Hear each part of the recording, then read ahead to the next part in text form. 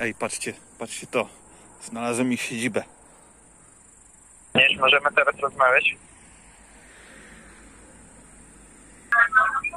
Adam Kacz z tej strony.